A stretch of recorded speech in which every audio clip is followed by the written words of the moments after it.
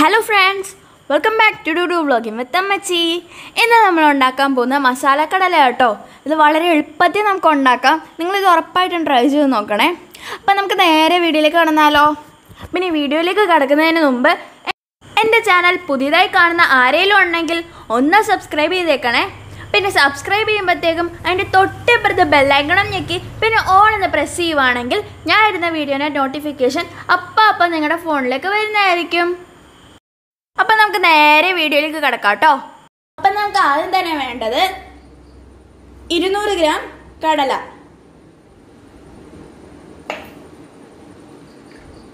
ഉപ്പ് ആവശ്യത്തിന്. മഞ്ഞളോടി ഒരു കാൽ ടീസ്പൂൺ. പെരിഞ്ജീരകം അല്ല വലിയ ജീരകം. ഇത് ഒന്നര ടീസ്പൂൺ. ഇത് കായപ്പൊടി ഇത് ഒരു ടീസ്പൂൺ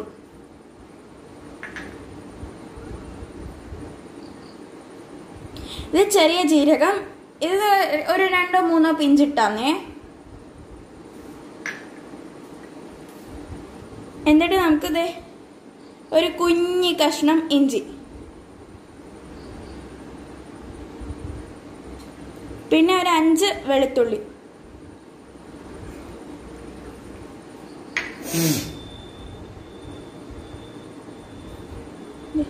ആറ് ടേബിൾ സ്പൂണോളം നമ്മൾ കടലപ്പൊടി എടുത്തിട്ടുണ്ട്.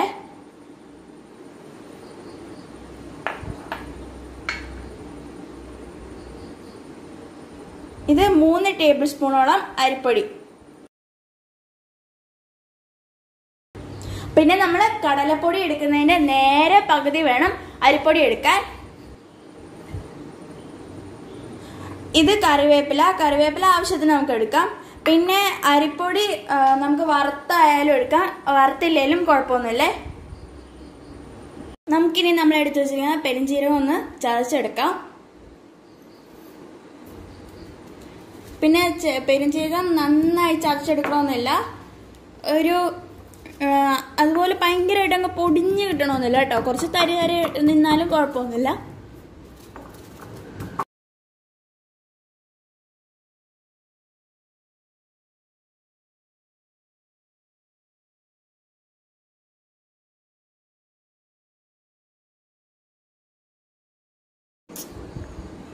അപ്പം നമ്മളിത് കോരി എടുത്തിട്ടുണ്ട്. അതെ കണ്ട?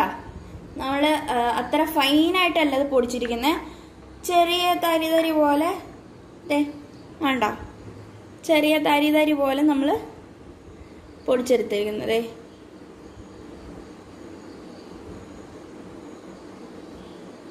കണ്ട? ചെറിയൊരു തരി തരി ഇതേമാതിരി നമ്മൾ പൊടിച്ചെടുക്കണം. നമുക്കിത് മാറ്റിയിട്ട് നമുക്ക് ആവശ്യമുള്ള കറിവേപ്പിലയും അതുപോലെ തന്നെ ഇഞ്ചിയും വെളുത്തുള്ളിയും ഒക്കെ ഇട്ട് ഒന്ന് നന്നായി ചതച്ചെടുക്കാം. കറിവേപ്പില ഇവിടെ ഞാൻ ഒരു നാല് തണ്ടോളം എടുത്തിട്ടുണ്ടേ. ഇനി നമുക്ക് ഇതിലേക്ക് നമ്മൾ എടുത്തു വെച്ചിരുന്ന ആ ഇഞ്ചിയും വെളുത്തുള്ളിയും ഇന്ന് ചേർത്ത് കൊടുക്കാം.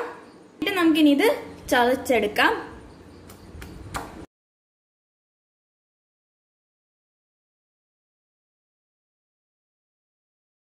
ഇനി നമുക്കിത് ഒരു പാത്രത്തിലേക്ക് മാറ്റാവേ.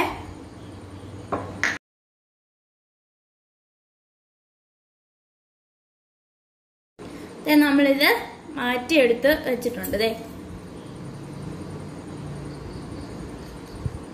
കണ്ട? ഇനി നമുക്ക് വേറൊരു വലിയ ബൗൾ എടുക്കാം. ഇതിലേക്ക് നമ്മൾ എടുത്തു വെച്ചിരിക്കുന്ന കടല ചേർത്ത് കൊടുക്കാം.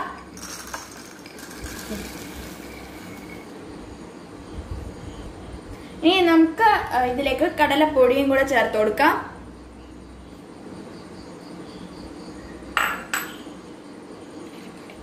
എന്നിട്ട് ഇതിലേക്ക് അരിപ്പൊടിയും കൂടെ ചേർത്ത് കൊടുക്കാം.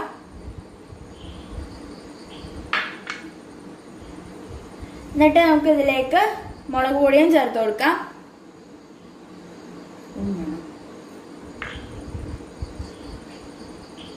എന്നിട്ട് നമുക്ക് ഇതിലേക്ക് കായപ്പൊടി ചേർത്ത് കൊടുക്കാം.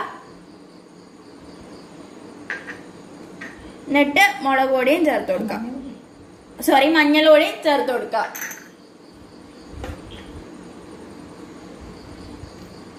എന്നിട്ട് നമുക്ക് ഇതിലേക്ക് ആവശ്യത്തിന് ഉപ്പും ചേർത്ത് കൊടുക്കാം. അപ്പൊ ആദ്യമേ നമുക്കിത് എല്ലാം കൂടെ നന്നായി ഒന്ന് മിക്സ് ചെയ്തെടുക്കാം. കൈ കൊണ്ട് തന്നെ നമുക്ക് മിക്സ് ചെയ്യാം കേട്ടോ. പിന്നെ ഞാൻ വീഡിയോ എടുക്കാൻ വിട്ടുപോയിരുന്നു. നമ്മൾ നേരത്തെ ചതച്ച് വെച്ച പെരിഞ്ജീരകവും ഇതിലേക്ക് ചേർത്ത് കൊടുത്തിട്ടുണ്ട് കേട്ടോ. എന്നിട്ട് നമുക്ക് നമ്മൾ നേരത്തെ ചതച്ച് വെച്ച കറിവേപ്പിലയും കൂടെ ഇതിലേക്ക് ചേർത്ത് കൊടുക്കാം. തേ നമ്മൾ നേരത്തെ ചതച്ച് വെച്ച കറിവേപ്പിലയും കൂടെ ചേർത്ത് കൊടുക്കാം.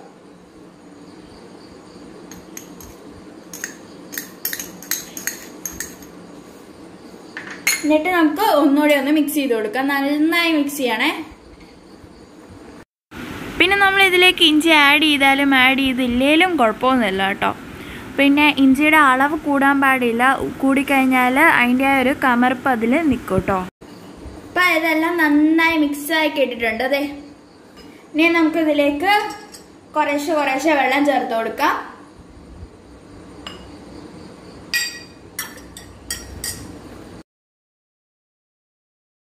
ഒരിത്തിരിയും കൂടെ വെള്ളം ചേർത്ത് കൊടുക്കാവേ. നന്നായി മിക്സ് ആയി കിട്ടണേ.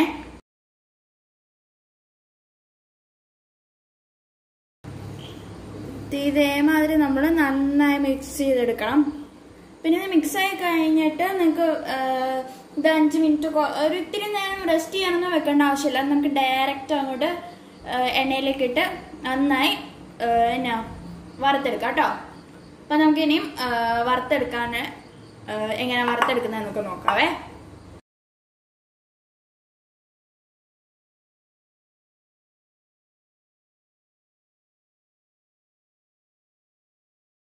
പിന്നെ നമ്മൾ ഇവിടെ ഒരു അഞ്ച് ടേബിൾ സ്പൂണോളം വെള്ളം ചേർത്തിട്ടുണ്ട് കേട്ടോ.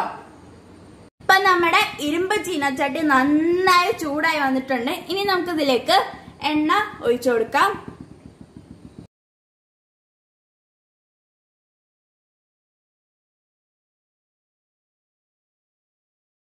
എണ്ണ ചൂടായിട്ട് ഇത് ഓരോന്നായിട്ട് നന്നായി ഒന്ന് വറുത്തെടുക്കാം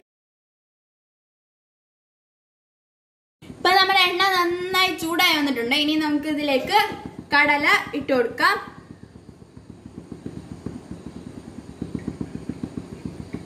കണ്ട ഇപ്പൊ നന്നായി ചൂടായി വന്നിട്ടുണ്ട്. നമ്മുടെ കടല ഇടുന്നതിന് മുമ്പേ ഇങ്ങനെ എടുത്തിട്ട് ഇതേമാതിരി ഒന്ന് ഇങ്ങനെ ഇട്ടിട്ട് ഓരോന്ന് വീതം ഇങ്ങനെ ചേർത്ത് കൊടുക്കാം.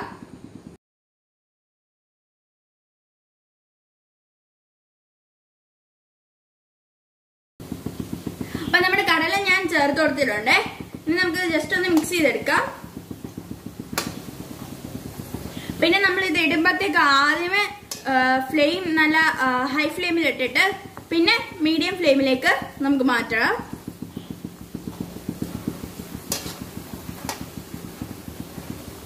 അപ്പൊ നമ്മൾ ഇങ്ങനെ ചെറുത് ചെറുതായിട്ടൊന്ന് മിക്സ് ചെയ്ത് കൊടുക്കണേ.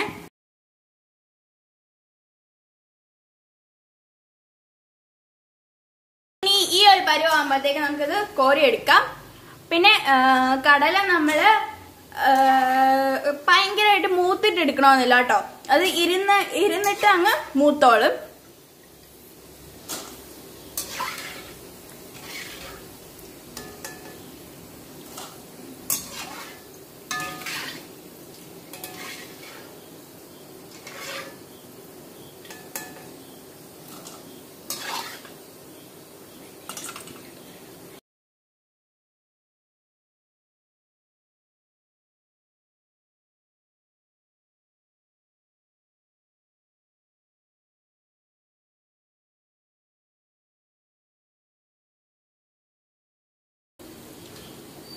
അപ്പം അങ്ങനെ വെക്കുവാണെങ്കിൽ ആ എണ്ണയൊക്കെ ഒന്ന് താഴോട്ട് പൊക്കോളും. അതിന്റെ മുകളിലായിട്ട് ഒരു അരിപ്പ വെച്ചിട്ട് ആണ് നമ്മുടെ കടല കോരിയെടുക്കുന്നത്.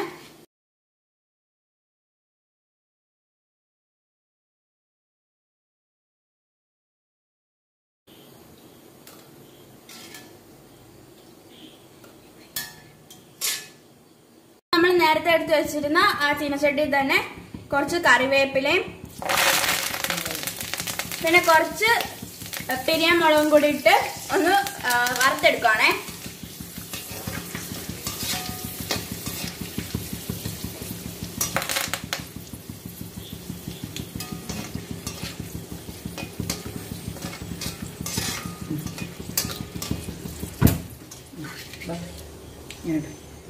ഇനി നമുക്കിത് കോരി എടുക്കാം ഇനി നമുക്ക് ഇതേമാതിരി ഒരു പാത്രം എടുക്കാം. അതിലേക്ക് നമ്മൾ എടുത്ത് വെച്ചിരിക്കുന്ന കടല ഇട്ട് കൊടുക്കാം.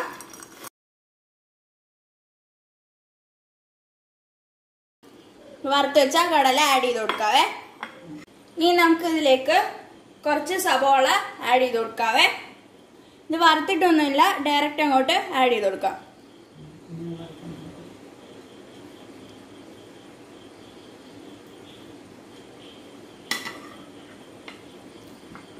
എന്നിട്ട് നമുക്ക് നമ്മൾ നേരത്തെ വറുത്ത് വെച്ച മുളകും അതുപോലെ തന്നെ കറിവേപ്പിലയും ആഡ് ചെയ്ത് കൊടുക്കാം.